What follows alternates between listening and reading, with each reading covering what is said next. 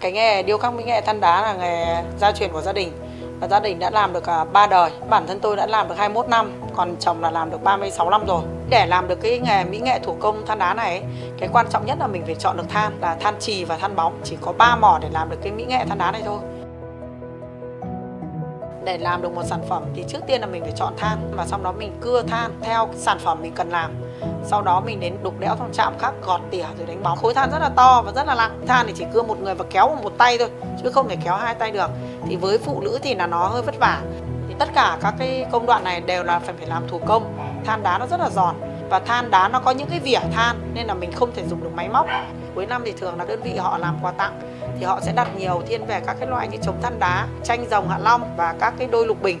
Thu nhập của gia đình thì khoảng ba bốn mươi triệu một tháng.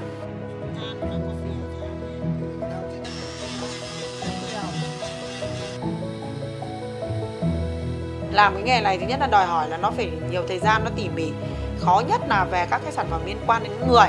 Sản phẩm làm nhanh nhất cũng phải là 40 đến 50 ngày mới xong, vì nó cũng bẩn. Chỉ cần chạm vào là nó đã bẩn bụi rồi, nên nó lem nhem thì nhiều bạn trẻ là nhìn thấy là các bạn không thích. Cũng có lúc là nghĩ là phải bỏ thì cũng có xoay chuyển các nghề khác. Nhưng sau đó lại vì là làm nhiều thành cái đam mê.